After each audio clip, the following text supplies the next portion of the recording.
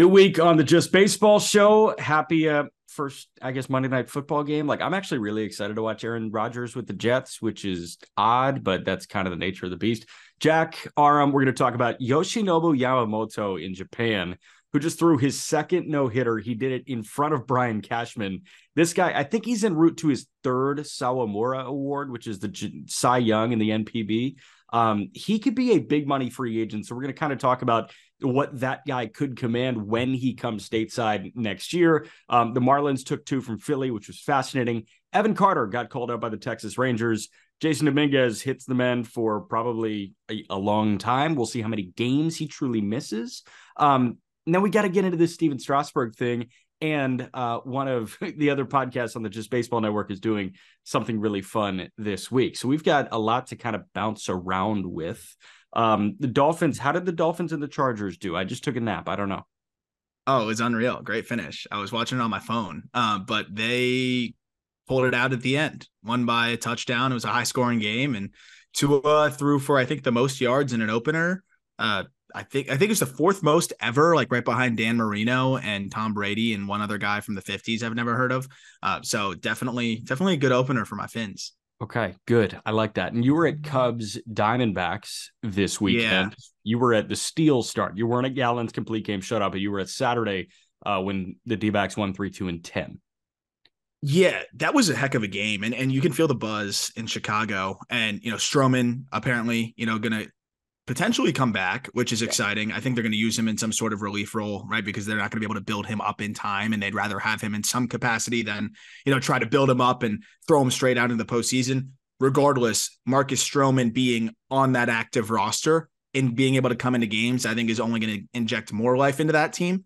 Uh, it was a back and forth game, really close one, really fun. Merrill Kelly shoved, Steele shoved, and you know D backs edged it out. But to me, it just feels like I know Gallen's kind of like closed the gap a little bit with that complete game shutty, but Justin Steele has just been the epitome of consistency. And uh, you know, we'll, we'll, talk. We've talked a lot of Cy Young. We'll circle back later, but I, I, did feel like I was watching one of the best pitchers in baseball. Just the way that he was. Car- I don't know if it carries over into next year. We know guys just have special seasons and things like that, but watching Steele in that start, man, in person too, just kind of the way he's strutting his stuff. I saw him between innings uh, when I was kind of going in the back area. You could see uh, the the I would say the batting cages behind the, the clubhouse behind the clubhouse. You can see into the batting cages. And between innings, he was in there by himself, just sitting down, watching the game on the TV, like doing his own thing.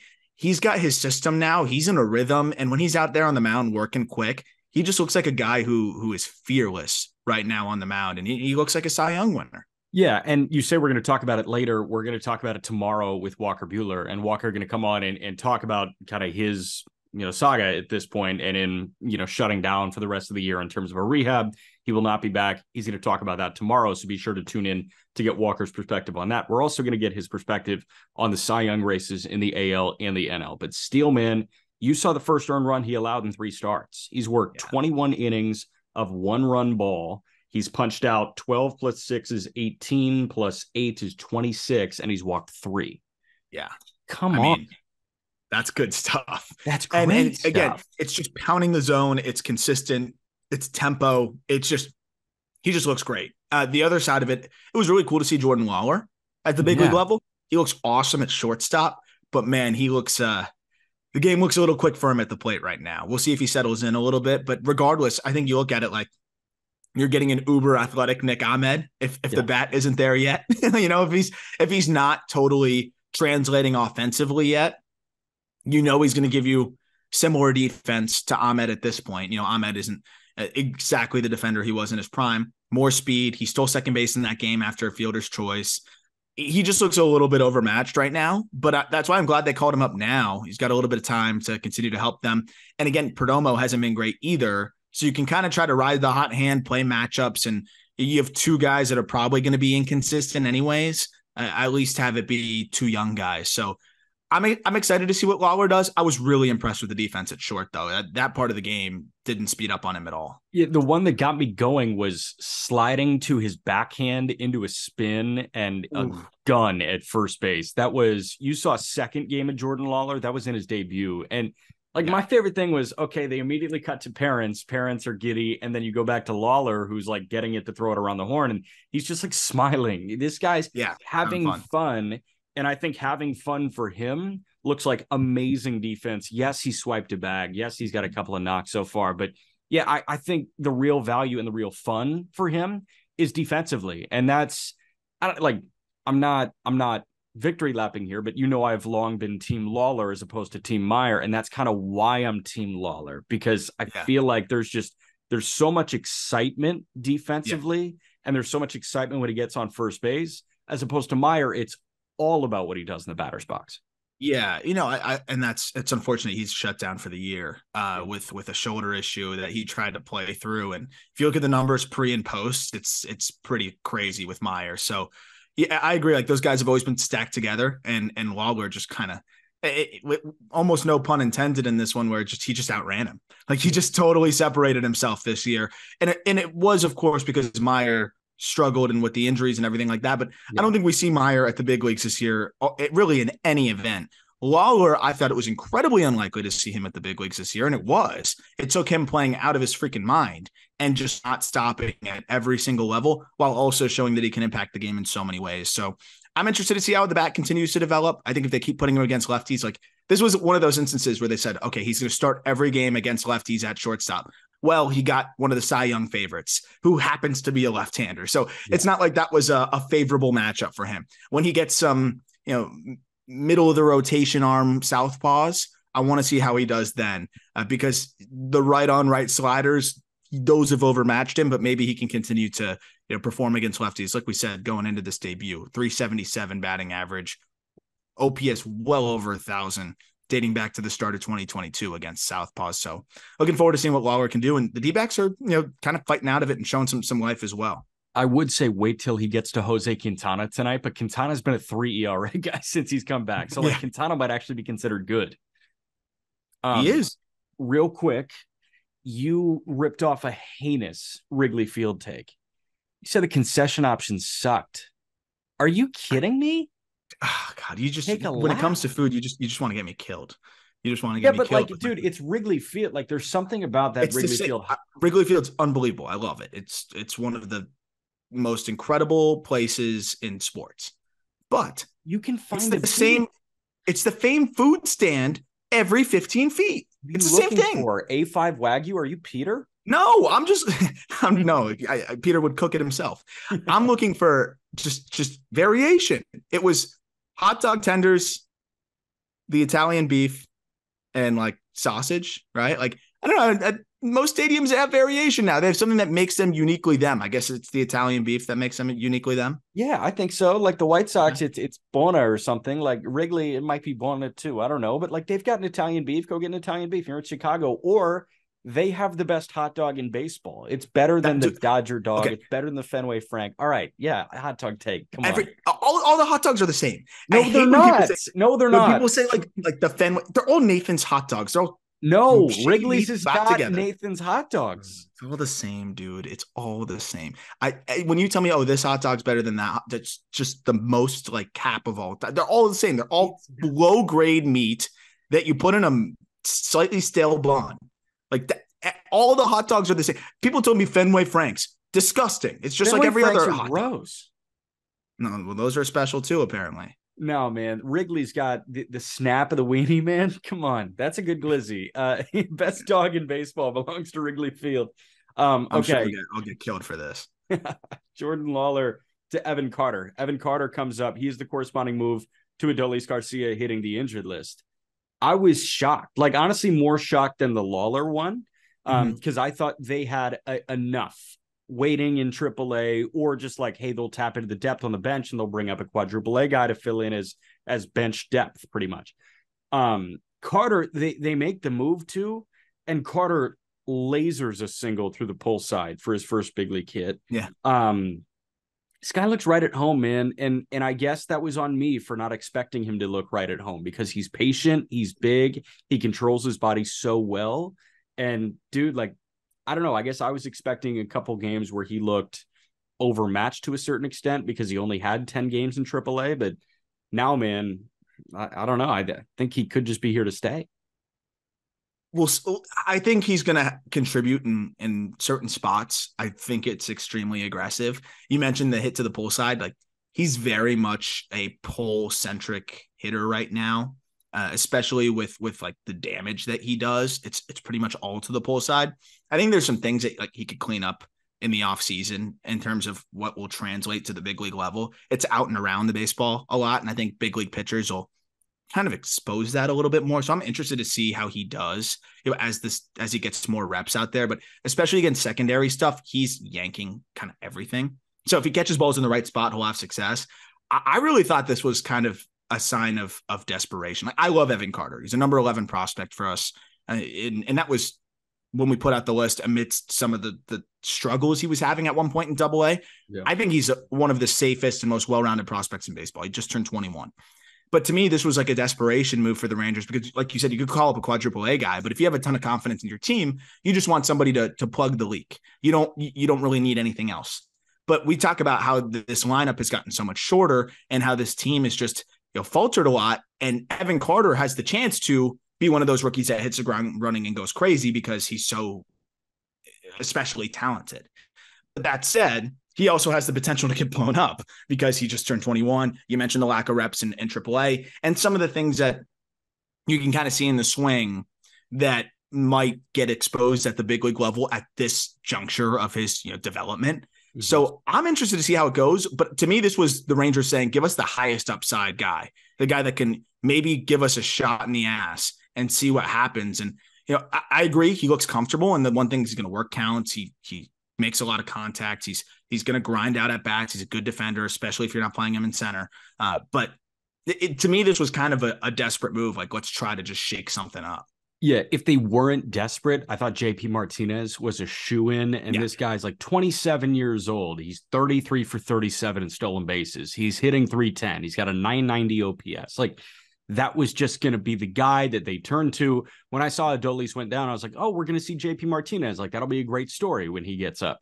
But no, like it's it's a better story now because he got one of the top prospects yeah. in the game. Do I think JP Martinez deserves a big league shot? Yes, absolutely. Um, was this the more aggressive decision? Yes, absolutely. Is it going to pay off? I don't know. We'll see. But at the very least, I think you look at it like how much difference the production going to be. It's probably going to quadruple A guy versus Evan Carter. Like Evan Carter, even if he's not totally contributing consistently, still going to run into some balls on his pull side. He's still going to walk. He's fast. He's going to play really good defense, like I said, in in corners. He's, I think, a good defensive center fielder. I think that's an underrated aspect of his game. Yeah. Uh, but they they bring him up, and you know, kind of in the midst of I would say not his best stretch. And and that's why I was surprised by it. This is a guy that again is I think trying to work through some things and uh, you, you look at some of the the performances he's had against secondary stuff at the upper levels and uh, again I think that's part of the struggles with with the pull happy approach and it, he hasn't been as good against secondary stuff this year but you know he he had a nice little stretch of a few games and uh, at the end of the double A gets promoted to triple brief taste there. We know AAA PCL is not the best for development, so maybe there's some things that he, you know he'll continue to learn and develop at the big league level. But again, he has the potential to just kind of have things click and go crazy. And I think they need somebody that has that, you know, because at the end of the day, he's a number 11 prospect for a reason. It's because yeah. he has everyday above average regular potential all-star upside. Uh, I just don't know if he's ready to translate that at the big league level yet, but I'm excited to find out and I'm pumped that they brought him up. I'm I'm always going to be pro aggressive prospect promotion. Yeah. Um, but yeah, I, I, don't know if this was like the easiest transition for a guy that's still kind of working on some things with his swing. It definitely wasn't. And we'll see if it works. But if there's any team that's like hovering over the panic button that is, you know, in wild card contention right now, it's the Texas Rangers at this point because of how quickly things have kind of fallen off the rails. Like other teams, it's been a slow burn, and there were points where you know San Francisco looked entirely out of it, but then San Francisco a couple games stretch, and they have some teams in front of them lose a couple games, and like they look back in it. Texas, it was damn, they're the best offense in baseball. To then all of a sudden they were on the outside of the wild card picture looking in. So yes, it, it could have been panic inspired, but you're right. Before we move on to the Martian, what does the best version of Evan Carter look like? Just for for Rangers fans to dream on, is it 330 bombs? I don't know about 30 bombs. Uh, the thing is, is there's a lot of room to get like stronger, which is interesting too, because he's he's got a long frame. He's got plenty of room to add more muscle in there. But to me, I think he's still always going to be kind of hit over power, which mm-hmm. which is a, a, good thing because there's still sneaky pop in there. And I think he's trying to strike that balance right now because again, you, you see how how much he wants to go pull side and how he tends to be out and around the ball. And I think with his, he's got long levers. Like he could have power to all fields. So I think when it's all said and done, Carter could be a guy that's hitting, yeah, close to 300, around 20 home runs, walks at a good clip. It's probably going to be 280. I mean, who hits 300 nowadays, anyways? But if he's a 280 hitter, 20 to 25 homers, uh, mixes in a handful of stolen bases and, and walks and plays good defense, that's a consistently above average regular that if you play him in left or in center field, it's going to be good for a long time. Uh, so I think he's a high floor big leaguer that is going to contribute for a while. If you look at the tools real quick, I have a 55 present, 60 future on the hit, 50 mm-hmm. present raw power, 55 future, and the game power is about 50. Uh, I think it's just above average tools across the board, which is I love those types of players. So a guy that is consistently either an all star reserve or somebody that's like, hey, Evan Carter should have gotten more love. Yeah, 100. percent Um, all right, look at Dominguez, man. Uh, done for the year, torn UCL, Tommy John surgery likely required the good news is he is a hitter.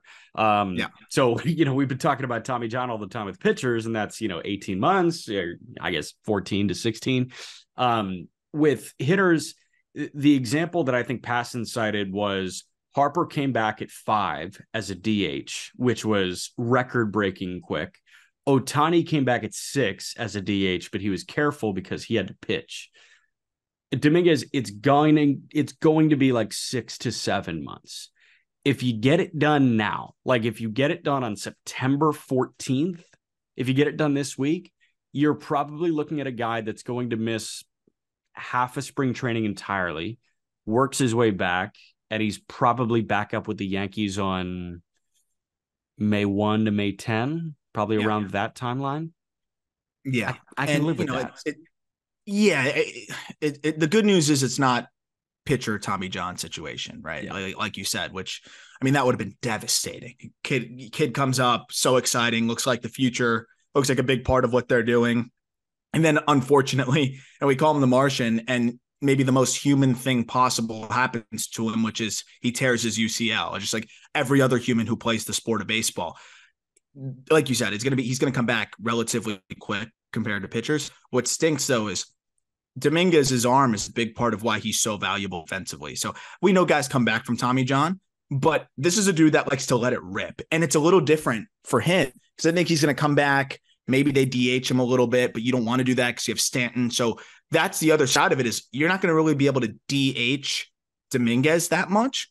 And Dominguez, when he comes back, he's not going to guard that arm. Like it'll be weird to try to have him guard that arm. It's a plus plus arm. And if you think about the force that's being kind of applied when you have a hundred mile per hour, you know, throws from the outfield like Dominguez is capable of, they may tread a little bit more lightly. So I'm interested to see how they handle that with, with the DH role kind of clogged and you know him being somebody that really likes to cut loose. Um, and that's probably part of the reason why he. Ha- I don't know how he tore his UCL or what the exact breakdown of it is, but I mean, I know that this dude uncorks some special throws from the outfield. So I'm interested to see how they handle it because you're looking at a 20 year old here. You don't want to re injure it and have him out even longer.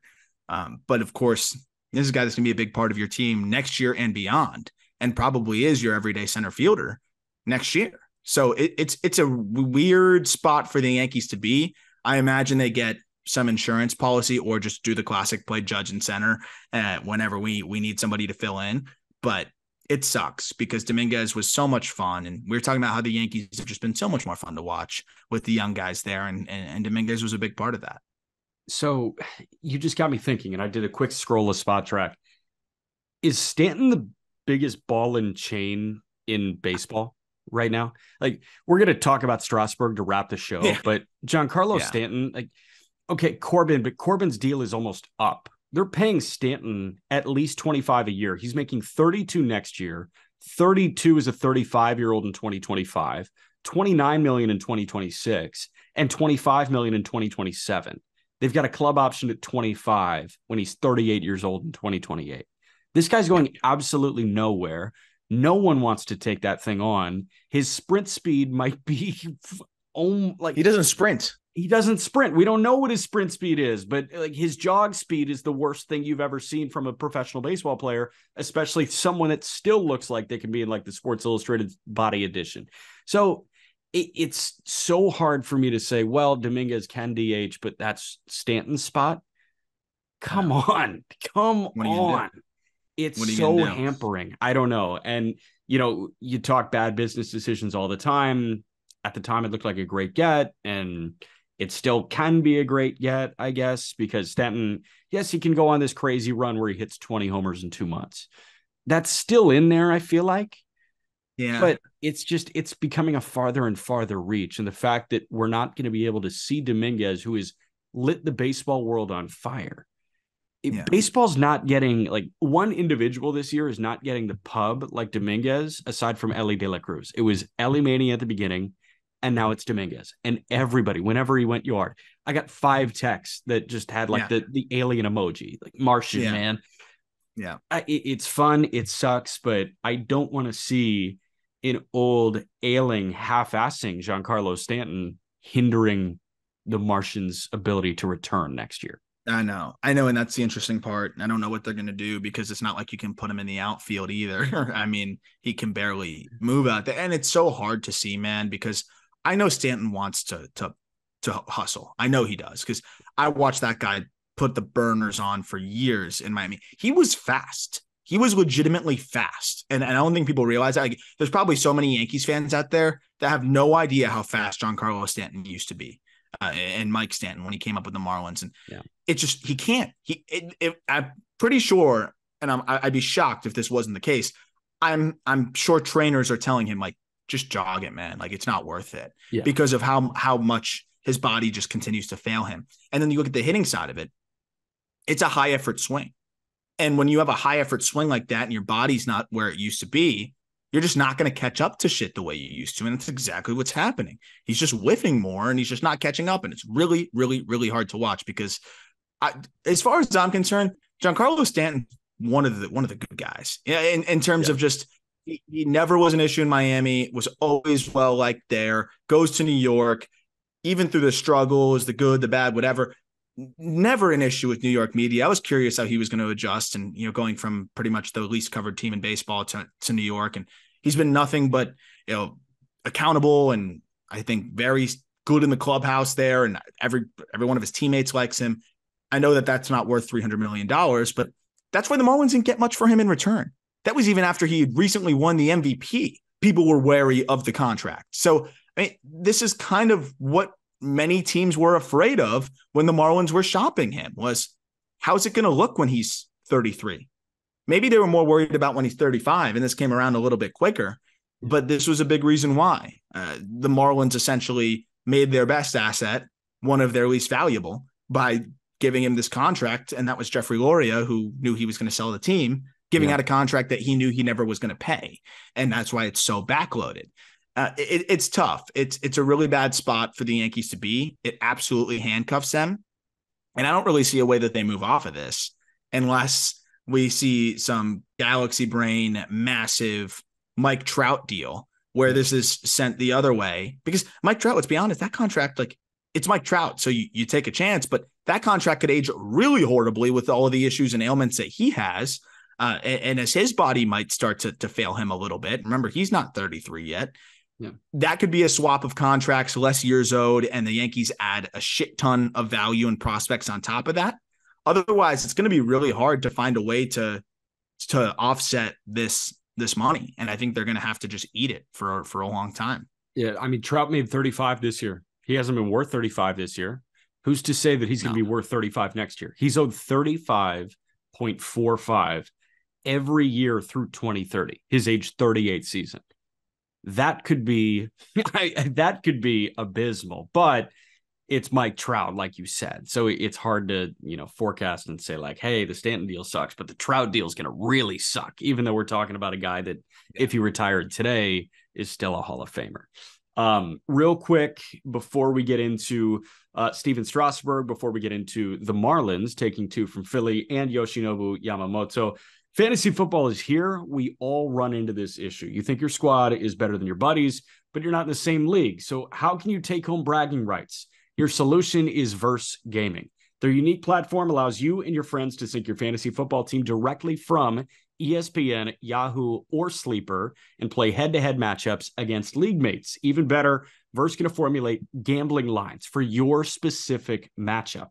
So if I'm playing you, Aram, on Verse, I can bet that I'll cover plus four and a half against you because I know you have Tua and I've got Trevor Lawrence. Hmm. Verse is introducing a brand new element to fantasy sports. Just download the Verse Fantasy Sports app, and in just a few taps, you can start putting money down on your head to head matchups. Once you're signed up, you get a $20 referral bonus if you get your friends to sign up. And even better, they'll receive $50 in promo for using your code. Verse available in 23 states, including California, Florida, Texas, New York, and Chicagoland, which is where Aram is right now. For more information, visit versegaming.com or find them on your favorite social media platform at Verse Fantasy, V E R S E Fantasy. Verse Fantasy, you want in? Sir? I love it. Um, okay, let, let's jump to the Marlins taking two of three from Philly. And you mentioned it. Who were the starting pitchers in this one?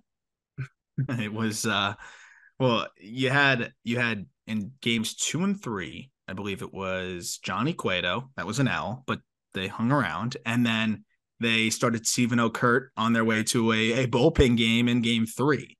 So they had Eury in, in game one who held it down, you know, dodged a couple almost home runs that went foul and gave them a decent outing and, and they pulled that win out. But to me, that that was a big statement because you could you could claim two wins by you surprise the Dodgers, you sneak two wins at home, getting them on the road, long road trip. But to then follow that up by going on the road to Philly and taking two out of three there after the Sandy Alcantara news, right? The Sandy Alcantara news comes out right in the middle of that Dodger series, and they come out and, and just boat race the Dodgers that game. They take the two out of three there, and then to take the the series in Philly. I I don't know. I, I, you know how like careful I've been in terms of buying into this team, yeah. and I know that Sandy news really sucks and hurts their outlook. But based on the performance of this week now, I mean, every game matters so much more as, as we wind down at September 11th, uh, as, as we're going to put this episode out. Like, we're, we're far along here. There's not that many games left. I'm starting to believe in this Marlins team a little bit, man. They're five games over. There were guys, and I was I want to start with the Eury start because Eury Perez, it was five innings, a two-run ball. Christopher Sanchez went five shutout innings in counter to him. But there were two home runs in that one. And the thing that kind of gets me about the Marlins is this weekend they won a series because of guys that were like the butt of jokes at the beginning of this year, maybe even the first couple months of this year.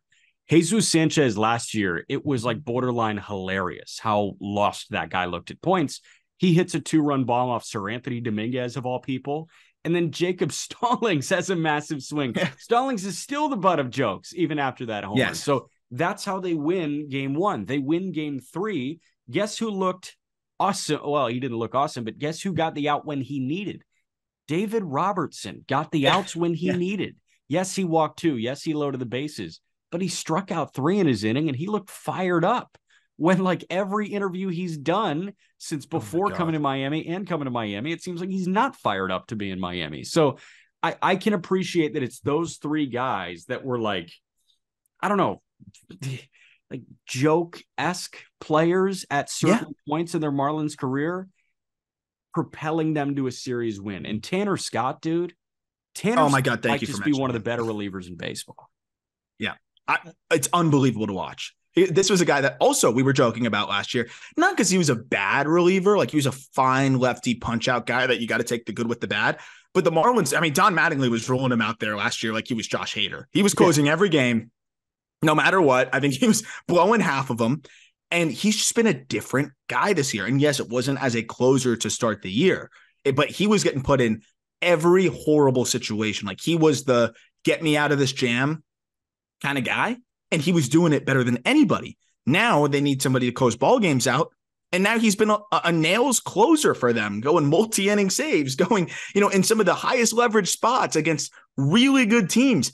He's been one of the best relievers in baseball, flat out this year, and it's been so much fun to watch. I it, it's this team has just been unbelievable to me. It, it's it's really funny. Every time I think they're going to fade, you know, I thought maybe after they didn't get any of those additions in the uh, in the waiver period, that might be where they start to fade. I thought maybe with this absolute ringer of a schedule they have, which they could still fade coming up. They got the Brewers, and then they've got the Mets, but then I think they've got the Brewers again. I think the Braves are mixed in there. Like they, they've got a ringer of a schedule the rest of the way.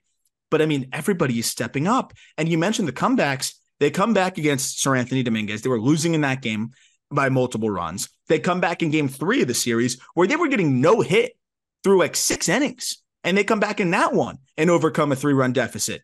I, that's the other side of it too. Is like this team is that, that has an offense that's kind of middling. Just feels like they're never ever out of it. And by the way, Tanner Scott of qualified relievers, second in Major League Baseball in fWAR, behind only Felix Bautista. And I like fWAR when you're looking at reliever value here because you know we can compare middle reliever or, or, I guess setup guys and, and higher leverage guys and whatever. And guys that are used more may have a better fWAR because it's a cumulative stat. You know, of course, Felix Bautista, one four eighty ERA. Uh, and, and he's a full tick above everybody else, or like a David Bednar, 195 ERA. But you have a, a 2 3 from Tanner Scott, but he's pitched in high leverage spots. He's thrown more innings and, and has more appearances than just about everybody it, it's part of the reason why he's been one of the most valuable guys in, in baseball out of the bullpen. So it's been fun to watch. I think I think I'm, I'm bought in enough to feel like they're going to hang around and, and make some noise. Well, so that war leaderboard, that F war leaderboard, if I'm not mistaken, it's Bautista by a wide margin. It's like 2.8 to 2.3 or 2.2. Yep. Yeah. So Bautista, closer exclusive, like ninth inning guy. That's what he was doing. Scott, kind of a Swiss Army knife this year. He's like taken over that yes. closer role since Puk has, you know, shit hit the fan after the All Star break. But then after that, I mean, I, I, know Bednar's right there. That is closer exclusive. Matt Brash is a setup guy. Brash is up there when it comes to fWAR. The other one that I want to point to here is win probability added, and that is the leverage number. Alexis Diaz and Felix Bautista tied at one, 4.22. Tanner Scott's three, and then you've got. Chris Martin out of nowhere. Chris Martin kind of hilarious in that Red Sox bullpen. He's good this year. And then you've got Devin Williams five. Tanner Scott's just one of the best. It, it, there's yeah. no way to look past that. Another one, I'm fully convinced that Bryan De La Cruz is a is a good Major League Baseball player. He went yard on Sunday. Like he's he's fun. He's a great interview. I love seeing the social stuff the Marlins do with him. He's funny. Um, but man, like that was his 19th homer this year. Yeah. I think that this guy can absolutely be a slightly above average OPS guy, play decent outfield. Yeah. That's and, the part that that's the part that drives me nuts. The defense is sometimes it look like he looks better than than he is, and the range and the arm is so and that's the part that holds him back fWAR wise. Because I agree, like he could be a really solid, consistent bat. If he can make some progress with the defense this offseason, I think he can be consistently like a two, two and a half win player, which you need those guys. And yeah. by the way, they're doing this with Soler out, by the way. Like mm-hmm. that's the other big, big part of this as well. Like we talk about Sandy, but no, like Soler goes out and you have De La Cruz step up. And every time I think De La Cruz is going to like hit a wall, you mentioned it, like he comes up clutch with a big home run and he just he runs into baseballs. And same thing with Jesus Sanchez. Same thing with this entire team. It's it's just been wild to watch. And I think I'm bought in. Like I, I just think they're gonna hang in and and make some noise. And the bullpen's been so solid all of a sudden. It's it's just hard to to count these guys out, especially the way that they're able to come back late in ball games. I think I'm on the bandwagon with you. You're not on the bandwagon. Like you, you, Christian Crespo, and Ethan Badowski have every right to be there. Um, but I do believe the White Sox are officially eliminated from postseason contention as of yeah, Sunday. They are done. They're officially eliminated. Yeah. Um, I was off that wagon by the All Star break. Um. Cubs and Marlins. Call me Ethan Badowski, our social gem. Oh my God, he's gonna, those are my gonna two. Have, I think he's gonna lose his mind if if that's the matchup, but it should be pretty fun. Um, yeah, I'm I'm looking forward to the the kind of final race here. You got the Reds with some reinforcements now coming back as well. Uh, some guys off the injured list. Hunter Greene being back in the fold, so it's gonna be a it's gonna be a fun little showdown the rest of the way. And and the D backs, I mean, they look good though. I mean, they, they're starting to show some signs of life again and have been playing a lot better over the last 10. I thought they were they looked good and, and matched the energy that, that we saw at Wrigley. Lourdes Gurriel put on a, a defensive master class in left field, which I've never seen from him before, too, by the way. It was fun to see. It, it's it's playoff atmosphere now, which is which is awesome. I can't tell you the last time I've seen the Marlins play meaningful games in September outside of the Mickey Mouse season. It's yeah. it, it really hasn't been since 2009 and and that I mean that's a long time ago. Did Sixto start game 1 or game 2 in 2020? In that wild card series. Was it game 2? Did Sandy I think it was game, game 2. He started game 2. He's in Pensacola now. That's kind of exciting. That's uh, unbelievable. I I never I didn't think he'd throw a, a pitch from a mound in, in an actual game for the Marlins again. I, I genuinely you got to go fly down to Pensacola. You just got to like touch him on the shoulder, and it's like you're real. Oh god, dude! I thought I thought once once my buddy Griff got promoted from there, I'd never go back. but no, if, if I might have to go back. I might have to go back to, to for Sixto. I might have to. Yeah. Um. All right. Let's let's talk Yoshinobu Yamamoto right now. Yeah. And, and this guy Roki Sasaki is the buzz name over in Japan right now. I think the two are Sasaki and Munetaka Murakami because those were the the wonderkins that we were talking about. But mm-hmm. uh, Yamamoto, man, like he's a he's coming over sooner. He's coming over this year, and b in terms of recognition and awards and overall statistics, he's been arguably better than Roki Sasaki on the hill in the NPB. Now Sasaki's 21 years old, and Sasaki, by the way, just returned from an oblique issue and held him out, I think, a month. Mm-hmm. But Yamamoto, his second no hitter in a year and change. He did this with Brian Cashman sitting front row behind mm-hmm. home plate. There were other executives from other teams there. Don't get it twisted, but Cashman was an easy ID, bald head, mm-hmm. you know, thick frame glasses. Yamamoto this year is 14 and 5 with a 126 ERA, 145 punch outs, 24 walks in 143 innings of work. Again, he's 25 years old. He's going to be posted this offseason. So we can get into the stuff, and I know that you're going to dive into the pitch by pitch, what they look like in a vacuum, but I'll make my sweeping claim to start, and you can kind of back up why. I think he is the second highest paid pitcher this offseason. Yeah. I still and- would have put him two, I think, ahead of Julio Urias based on this year. And obviously now the Urias conversation is is a moot point. I think Nola does get paid more than Yamamoto. And I, I know that you could make the counter argument here, but – I think that Yamamoto is an 150 plus million dollar pitcher this offseason. Yeah, it's it's really hard to put the numbers out there because you see like what Kodai Senga got, and you look at it like there's two ways you can look at it. Kodai Senga, oh, was it 75 million that Senga got? Five for 75. Yeah, you you look at it two different ways. One way could be, hey, that's kind of a good barometer. He's going to get a little bit more than that, or whatever, maybe, or or a, still like a, a third more than that, whatever it may be. But you could also look at it the other way, where it's like, people thought that was a bargain. And now it already looks like a massive bargain in terms of how he's pitched. And maybe that inspires people to, you know, teams to be a little bit more aggressive with the, the numbers that they're willing to throw out. Because let's be honest, if teams could have a, a do over on the Kodai Senga sweepstakes, somebody's coming in at 100 million now. I, am I'm, I'm fairly positive. At least somebody's beating 75. So yeah. I, am interested. I do agree. I think he's a 150 million dollar pitcher. Does he get that? We'll see. Because I was surprised that Senga only got 75 from what I had seen, from the, the dives that I'd done and, and, the data that I'd looked into and, and the numbers that he had. But of course, there's the questions of the baseballs are different. How are they going to throw with a big league ball? And there's plenty of, of fair questions about that. Senga being older, though, and Yamamoto having turned 25 less than a month ago gives me even more, uh, I think, confidence that I can give a longer term deal and, and some more money to this guy. Uh, because even if he has an injury at some point in the middle of it, like he's young, you know, you feel better about his his ability to get back, less miles on that arm. I, I think when you look at Yamamoto, though, man, I know you said before we hit record and, and it's a fair point because you know what you're getting. And again, you, you don't always know what you're getting as guys make the the jump over. There's yeah. beyond just the the change in baseball and the level of competition. There's a psychological side of it. It's it's a lot to handle. Not only just going to the other side of the world and, and pitching in you know a country where no one speaks your language, but also being a big money, big ticket free agent on top of that. So there's a lot of variance to this where Aaron Nola is just like, I go out there and I pitch. That's the most like that that guy, I think you could give him a billion dollars, and I don't think the game changes for him. No. So I get it from that perspective. But if I'm a GM in terms of upside, I think I'd rather give the check to Yamamoto. upside higher for Yamamoto, but I'm just I'm I'm risk averse, and we, I, I, think that's been maybe more well documented than anything on this podcast. I'm I'm looking at Nolan. I'm like, you're going to get 190 to 220 innings every single year, and it's and probably going to be in the high threes.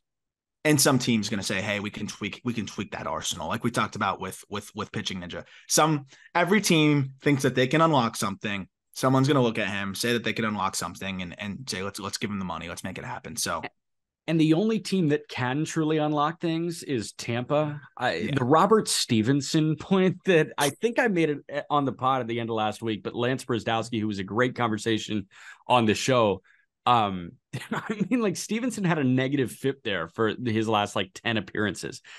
They, they work, they've got some sort of like satanic agreement right now. Yeah. Um, but other than that, man, like obviously the Dodgers do it too, but it's Tampa. Like I don't know if Nola signs with I, the Rays. Wh- yeah, why not? Nola signs with the Rays, then he's he's Tom Seaver. We know that. I know. I know that the Rays have, and well, I'm going to get into Yamamoto's arsenal in a second, yeah. but I just want to put this out there, and we'll talk about this so much in the offseason. I know the Rays have a, a rotation that could be fairly loaded next year, but you know that they're probably not going to give Glasnow a long term deal.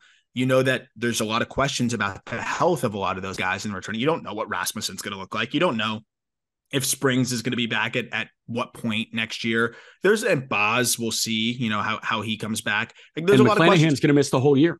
Yeah. And Nola is the one thing that they don't have, which is durable. And I wonder if, if Nola and Eflin still talk at all. And Eflin would say, come on over here, man. like yeah. they got me right. Like they got me right. So the Rays, look, they spend in certain spots. They're already having conversations about a stadium and they're finally making some progress on that, which is so exciting because I just saw Julio Rodriguez hit the third ring again in that stadium. I'm going to lose my fucking mind. Like it's just insane that a stadium can obstruct play so frequently. Yeah. Uh, that would be huge for the fi- financial aspect. We know that the Rays offered Freddie Freeman a lot of money in the right spots. They'll they'll cough it up and maybe they'll be a little bit more you know willing to do so here and then make a trade elsewhere because I mean they're pretty loaded lineup wise. So I'm interested to see what they do, but I think Nola makes a lot of sense there. Real quick on Yamamoto's arsenal. Yeah. You mentioned the numbers this year and how disgusting he's been. What I really like about him, you, you compare him to like a Kodai Senga or or some of these other guys. He's got a he's got an ability to to spin it a little bit better. We talk about how some guys are supinators, which is you know going to be more of that snap the breaking ball versus pronators who are going to be more the other way, which is like that that change up or being able to throw the splitter, which I think that doesn't you don't need to be as much of a pronator for that, of course but he can kind of do both. The splitter is disgusting, similar metrics to what you get from Kodai Senga. The fastball sits 97, touches 100 quite frequently. And then you also have a cutter that is really effective, a slider that's really effective, and this taste breaking curveball, all at different speeds. Fastballs upper 90s, splitters low 90s, cutters low 90s to mid 90s, sliders low to mid 80s, and the curveballs upper 70s. That's why this guy throws no hitters because he can give you different looks each time through the lineup. With Senga, it's going to be the ghost fork. And when the ghost fork's there, he can tell you it's coming. He can give you the glove gesture and throw it, and he's going to be nasty. But that said, if that pitch isn't there, he might not always have his best night. With Yamamoto, he can just come at you in so many different ways on top of the diabolical splitter that he can change his looks first time through, second time through, third time through. And that's what I think is going to make him so consistently good when he does come over to the big leagues. So there is like a comp, and I don't think it's Senga. Based on production, based on age, it's Tanaka. Masahiro Tanaka, ahead of I think 2015, signed or ahead of 2014, signed seven years, 155 million dollars with the Yankees, and that was kind of like unheard of money. But Tanaka was so good for so long, and he had just finished his age 24 season in Japan. And this guy was consistently putting up an ERA in the low twos or the high ones. He was about nine Ks per nine, and he was about a walk and a half per nine. Yoshinobu Yamamoto debuted in NPB at 18 years old. He's finishing his age 24 season right now. And his career numbers in the NPB a 184 ERA, 9.2 Ks per nine, two walks per nine. From a statistical standpoint, it's almost identical. And that is why I think those contracts are going to be almost identical. I think seven for 155 is the starting point, And I think Yamamoto says, we've got to elevate because 2024's market is not 2015's market. And he may be closer to 200 than 150. Yeah. Yeah. Senga I'm, doesn't I'm, have this pedigree. Yamamoto's got this pedigree. And and a little bit more youth on his side. I I, and, I don't disagree. And by the way, just wait till Sasaki comes over because he's going to look at what Yamamoto gets and says like, "You fucking double it, Bubba." yeah, yeah. As long as he's healthy, man, it's blank check season for Roki. yeah. Um, it, it's it's interesting, man, and and I love the point there because I've talked to a ton of pitchers that are like, I supinate or I pronate. I don't do both. like, the, yeah, the, the, ones that do do both are alien life forms. Mm-hmm. Like McClanahan was doing both with that split change and with that breaking ball, and that's why he was the best pitcher on earth before he got TJ. Yeah, the split's almost like the hack because you don't have to to pronate, right? You can yeah. just kind of grip it and let the grip take care of it and throw the shit out of it. And you know, a lot of these guys in that come over from the NPB or, or come over from the KBO or whatever it may be, like you don't even know if they're really pronators or supinators because they've got the fork ball and then or and then they just they just absolutely rip the fastballs by you. But certain guys just have a better feel for for for spin. And you know, Senga's not the best. He has a cutter, which again, that's kind of one of those pitches that the grip takes care of it. It's had a great run value this year, uh, but I think some of the expected sets aren't as good it's different with with Yamamoto. Like he's throwing sweepers and and, and he's getting you like that. That's a pitch that for him is is a separator. I think from some of the other guys that have that that splitter forkball type, uh, but yeah. don't have uh, as much of the the horizontal break on other pitches. So I think there is a Senga equivalent real quick, and it's Shota Imanaga, the left-hander who like last week they said is posted. He's probably a step below Kodai Senga, yeah, but I would say a step below so over the last couple years, Imanaga in 2021 had a 2.83 ERA. It was eight and a half Ks per nine, two walks per nine. 2022, sorry, 21, it was eight and a half Ks per nine, two walks per nine, and a 2.83. 2022, he had a 204 ERA, eight and a half Ks per nine, under two walks per nine. And this year, in 139 innings, he's got a 265 ERA, 166 punch outs, and 21 walks. So that's 10 and a half Ks per nine, one and a half walks per nine. So he's putting together his best year. He's more of a strikeout artist than Yamamoto is, just by the counting numbers themselves. Um, but Imanaga is going to come over. If Senga signed five for 75, you assume five for 60 for Imanaga? Yeah, I'm curious to see what he gets because he, he doesn't have, I mean, as, as good as stuff as the other guys, but he just kind of plays up and he's a lefty and it's a low release point and he just he gets a weird amount of lifts on his fastball. So I'm curious. That's that's a guy that I could see being shockingly cheap or getting something close to that. I think there's going to be a wide range there, but I think he's one of the safer arms. You know, at the very least, that guy comes over and he's a five for you. I, yeah. I think you can say that with a fair level of confidence. Uh, but I, I think you might be surprised at how how cheap he might be because of the how how he's older and smaller guy and doesn't throw super hard. Uh, but it'll be fascinating to see. I, I think he's he's an underrated arm, especially in a market that's going to be very thin and just got a little bit thinner, especially from the left side super thin. Um, Shohei Ohtani and the Angels go to Seattle this week. They start tonight. Fun thing from uh, a member of our Just Baseball Network, the Marine Layer Pod, uh, Lyle Goldstein, TJ Mathewson. What they're doing is they are printing business cards and they are handing them out. And it's almost orchestrating chants. Like you see the sheet that Duke basketball prints out at Cameron Indoor for the student section. And it's like, hey, here's some personal dirt on each guy instead of that, it's encouragement. It's hey, pass these cards out around the ballpark, and we're going to get the come to Seattle chance going for Shohei Ohtani all week. And they're yeah. saying this is our audition for Shohei Ohtani now. Yeah. And and the Ohtani, I think it was pre All Star break and during the All Star game when Ohtani was getting those come to Seattle chance. If they can do that for a three game stretch, I I think it would be a great landing spot, and I love that our guys are are taking that initiative.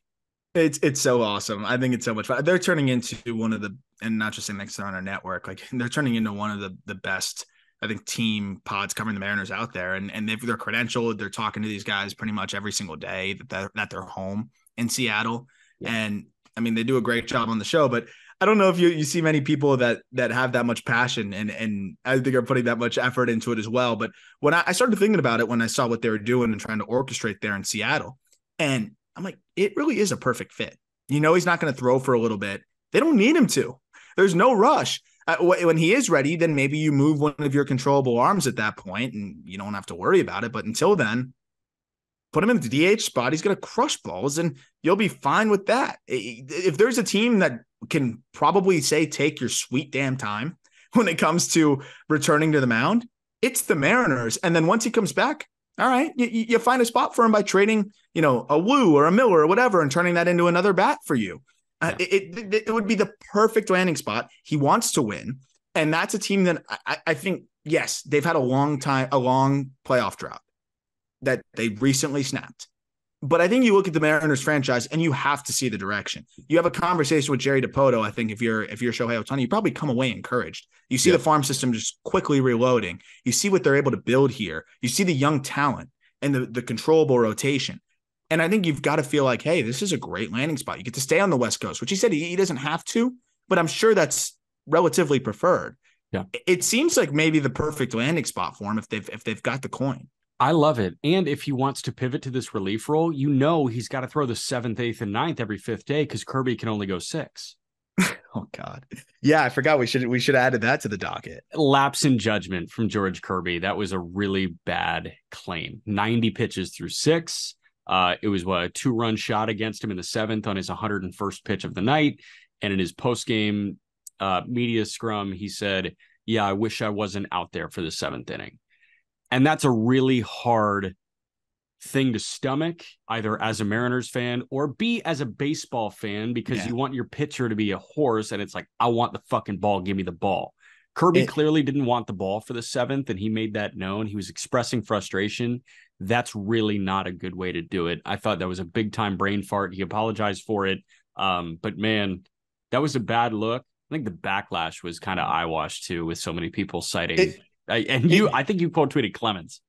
Yeah, I did quote tweet Clemens. yeah. Um, yeah, well, you know, it's easier to to go deep in games consistently when when you, you get a needle in your ass, but that's besides the point. Also, I know I'm supposed to say, "Oh, well, he threw complete games in the '80s." Okay, fine, whatever. Like it, it's besides the point. Like it's still a guy that that used a competitive advantage to be able to continue to to be durable. Like if it was so easy to go deep into games, why'd he do it?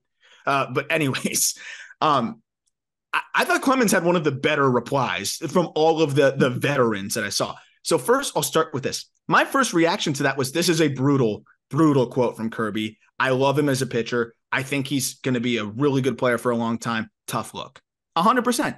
And you can you can say, hey, he's frustrated and he was venting it out. And I think that's 100% what it was because this is one of the roughest stretches of his career and he hasn't really faced that much adversity because he's just been so good and so consistent that you know it came out the wrong way. He wears his heart on his sleeve. I saw Ryan Divish said, you know, who covers the Mariners as, as, well as anybody on the beat. Yeah. This is a guy that really wears his heart on his sleeve and takes losses and struggles as hard as anybody. And when you cover a team like that and you're in the clubhouse, you see that. And he clearly didn't want to be talking to the media at that. And I think he let something out that you know a 25 year old probably wishes he could have back. And you don't burn your manager like that. You should want that ball pried out of your hand, and and we all know that that's how the majority of pitchers feel. And George Kirby threw a complete game three weeks ago against the best team in the American League in, in the Baltimore Orioles. So it's it's not like he's he's averse to doing it. And that's where I got really annoyed, and it almost brought me back around full circle. Where I'm like, I can't believe I'm now defending George Kirby because I hated the the comment, and I think he already regrets it and he apologized. And Scott Servais still kind of dunked on him after it. And he said he apologized, but he, he knows what, whatever. It was like the most dad energy ever. Yeah. That said, some of the quotes that we are getting from like Mark Mulder, like Jered Weaver, and like all of the, the just the classic. I'm sure David Wells chimed in there, by the way, taped over the Nike logo. Oh, on, on, dude. And went on a anti Bud Light rampage. Oh that was just God. bizarre. Oh my god, uh, Old Timers Day is just a tough oh, look. Oh, oh, god, the taping over the Nike logo was something else. Like I don't care. I, am never going to talk about politics, things like that. I don't care. Right. But that's just like that's that was the wildest, the wildest thing I've seen. But, but also, like, how does Bud Light come up at Old Timers Day? Like that was just David Wells.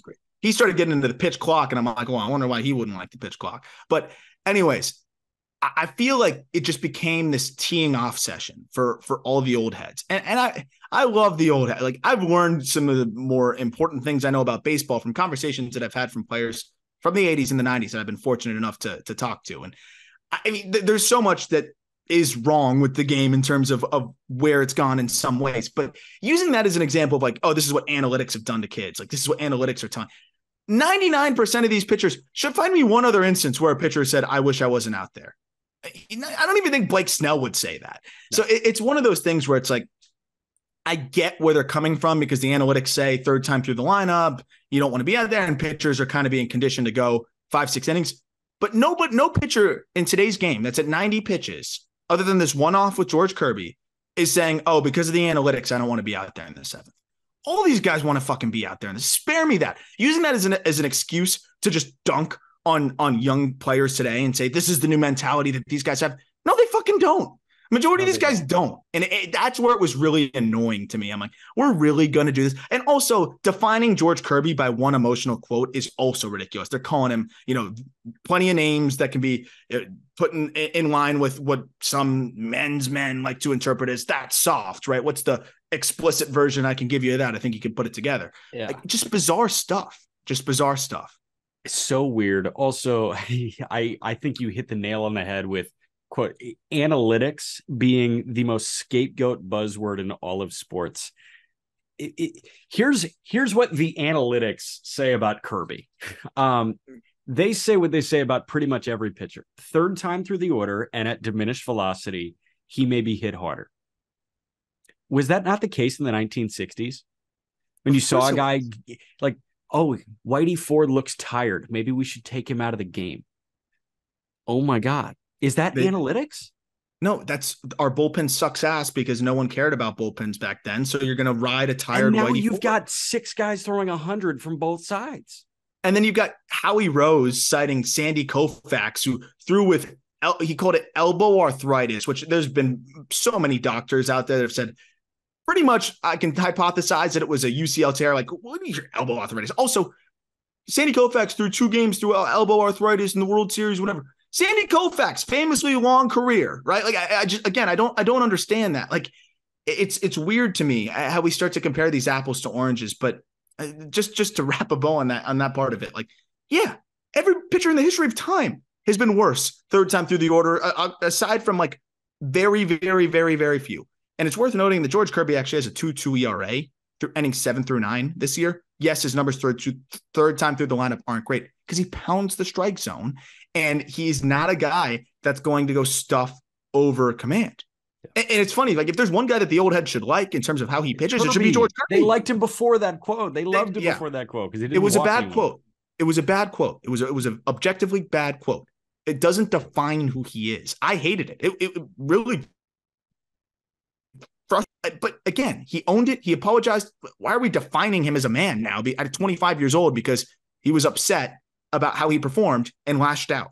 People lash out all the time, it, it, and that that part was ridiculous. No, me. man, you or I have never said stupid shit before. Ever. Yeah, when I'm when yeah, I mean, I do it on the podcast when I get it. I'm doing it right now, uh, but it, it's just yeah, that, that, seeing the Mark Mulders of the world and the Jered Weavers, who I respect, uh, they've yeah. accomplished and forgotten more about baseball than I know. But you also have to embrace change and embrace like that. Not everything is old school versus new school. Ways. That's just that. that's just an angry guy lashing out. That doesn't epitomize the the the gist of mental the mental approach of pitchers today. Like it, sure. just doesn't. For sure. All right. Um, as we wrap, give me the 811 on Stephen Strasburg. Like, how do you contextualize this Strasburg Nationals thing? There was supposed to be a retirement ceremony. His family came in. I guess there was an agreement that they were going to pay Strasburg the remainder of the contract if he retired. Then the Nats rebuked that um, or yeah, pulled back, rebuffed. I think rebuffed is the right one. I, I don't know. Like, what am I missing here? Can I just read the national statement? Yeah. By the way, uh, apparently, according to Jon Heyman, Strasburg's family was was in town for this jersey retirement or for just for his retirement ceremony. I don't know if they were retiring his jersey or what they were doing there. Yeah. But more importantly, he was getting the money no matter what. It, that's how it works. Like it's a horrible contract and it sucks for the Nationals. It does. They gave it to him. They didn't insure it. I don't know why they didn't insure it, given his injury history. They knew his injury history. We've talked about that. Like they kind of knew what they were potentially signing up for, but it was the classic. saw Pablo Sandoval, like, oh, we just won the World Series on his back. Like, let's give him the blank check and uh, ride off into the sunset. We're riding high. And that, that, that was the classic move that they made there. But now I think all of a sudden, and they're undergoing a lot of overhaul in the system. By the way, they've they've let go of I think over a dozen scouts, like long term scouts that they've had. They've still been nickel and diming back and forth with Rizzo, their general manager, who you know they've made it very clear they want to keep around. Uh, they've been the team was going to be for sale, now it's not. They've got issues with their TV deal and and being able to actually fulfill that side of things, and and that's not all their fault. That's obviously across the board in the league, but there's there's a lot of moving parts. So yes. it doesn't surprise me now that a team in, in a little bit of financial, you know, I would say just in a bad financial spot is maybe trying to find a way to save a few bucks on the amount of money that's owed to him. Because do, do you have the exact amount before I hit the the the uh, statement here? I can find it really quickly. Okay, because I, know it was a seven year, two hundred forty five million dollar deal that runs through twenty twenty six, but it has a lot of uh, you know kind of deferrals in it. Yeah. So Strasburg, here we go. Um, next year he's owed 35, 25 he's owed 35, 26 he's owed 35. Um, upcoming deferred. Yes, 10 mil deferred to 2027, 10 to 28, 10 to 29, 10 to 2030. So it's like a total like 80-ish. Yeah, and he makes 3 Oh wow. So 2027, 8 and 9, he makes 26.7 each year. Yeah. So he's owed what? He's owed about 80. Yeah. So I get that they don't want to pay that. I get it. But it, you gave it to him. It, the way it works though is if you retire, if you file your retirement paperwork, then you don't get paid. Like you, you're just you're done. You're out of the league. Gil Meche did that because he felt like he was, which I respect, like kind of falling on your sword like that. I think he was owed another 11, 12 million dollars when he signed that big deal. Uh, and he was good in the front end of it too. It's not nearly like the situation here, but Gil Meche ends up retiring because of shoulder issues and and calls it a day and leaves tens of million over ten million dollars on the table. I appreciate that and I respect that. Everybody has the right to do that, but also Stephen Strasburg doesn't have to give up the money that was was owed to him. Like I, I understand that it's it's unfortunate and and sucks for the Nationals, but the quote from the Nationals on after it was canceled you know, after the whole situation was canceled because he didn't agree to whatever they wanted to agree to, I thought was well, first of all, the Lerners almost never issue statements, which is Mark Lerner almost never issues statements. Yeah. And two, I thought there was a lot of like sassiness and like backhanded shit in this. It is regrettable that private discussions have been made public through anonymous sources attempting to negotiate through the media. While we have been following the process required by the collective bargaining agreement, behind the scenes preparations for a press conference had begun internally. However, no such event was ever confirmed by the team or promoted publicly. It is unfortunate that external leaks in the press have mischaracterized these events. And here's the ominous part. It is our hope that ongoing conversations remain private out of respect for the individuals involved. Until then, we look forward to seeing Stephen when we report to spring training. That one really, that's the part that really got me. You're going to make this motherfucker report to spring training when he's physically incapable to throw. He has nerve damage. He can't throw. He, he, he, for portions of, apparently when he stood up for too long, couldn't feel his arm. Like thoracic outlet and then having it kind of come back. He's had major nerve issues. And they'd rather hold him hostage because they know, hey, we'll, we'll just kind of play a game of chicken here it, it's it's a disadvantage for the Nationals because they have to keep that 40 man spot. Yes, you can put them on the 60 day, 60 day IL during the season, but during the off season, he takes up a 40 man spot. You don't want that. That's a disadvantage for you as a team.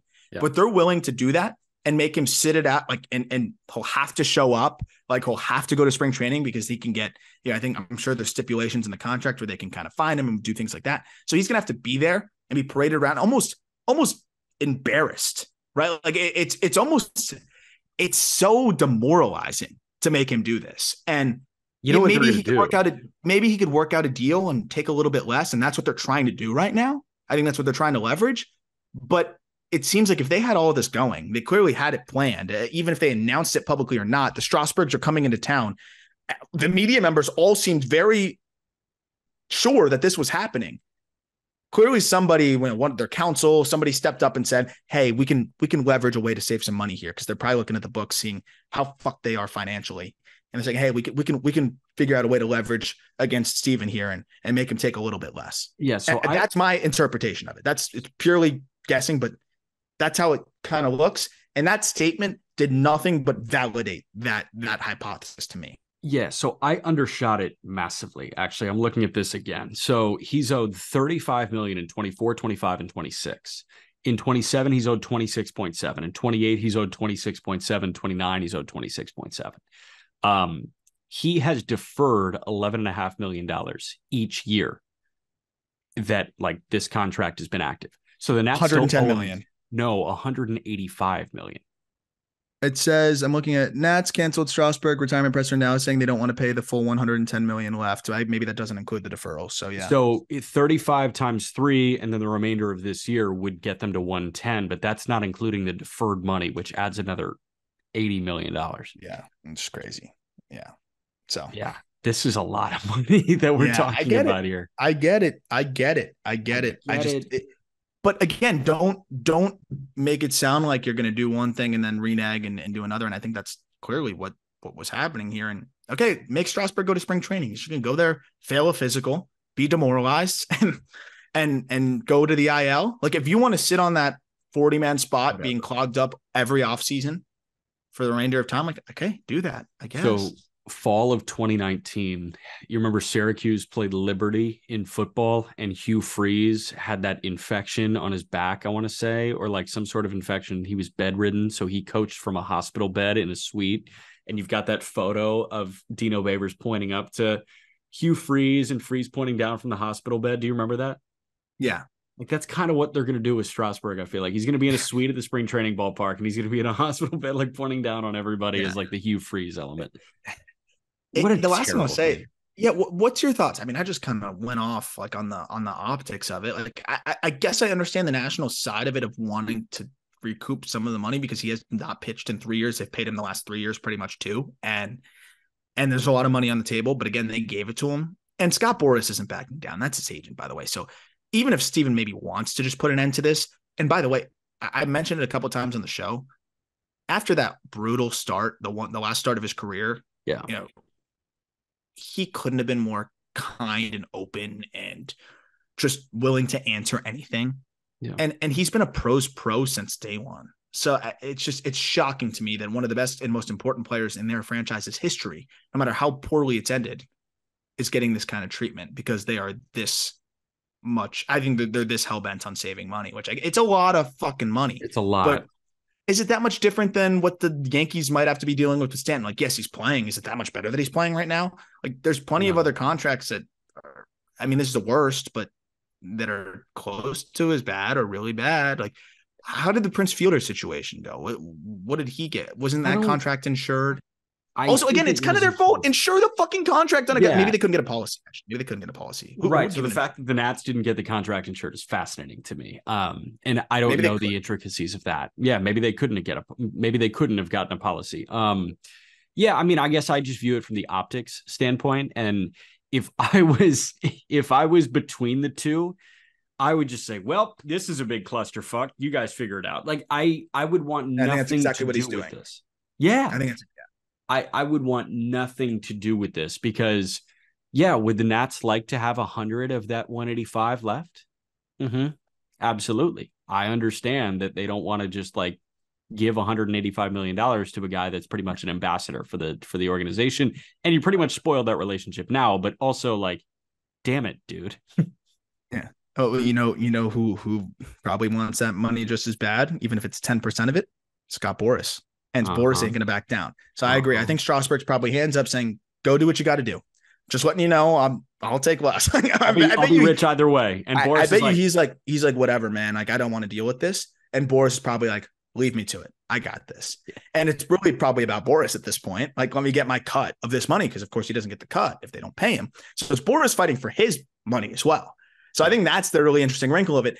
And that's what I kind of got as well from the, the quote is like Stephen's getting caught in the crosshairs here. It's like we look forward to Stephen reporting the spring train. Like that's posturing and language that is, I think, directed at Scott Boras. And it's like, yes. how much are you going to let Stephen go through before you just back down a little bit? I, that's kind of how I sense it. So I'm interested to see how this continues to unfold because this is some high drama. Uh, and in a way that it just this poor guy, man, like he already had his career taken from him in terms of how much longer we thought it could be, and now he has to have such a chaotic end to things. Uh, I just hope we get to a solution soon. Credit for him for trying for this long. It's been since 2020. Yeah. I would have thrown the towel in like midway through 21, I think, if I felt as shitty as he probably did. But the fact that it took until the end of the 23 season for this all to come to a head is like commendable for him. Like this guy gave every ounce of his effort to come back to a major league mound and he just couldn't do it. Yeah. And his body wouldn't let him. So, all right, that's it. Uh, Walker Buehler tomorrow. Good conversation with Walker uh, with Peter Appel. Um, and then Aram and Peter will talk to you on Wednesday. Look out for the call up mailbag coming early this week. Uh, and every link you need is in the episode description. We will talk to you guys tomorrow.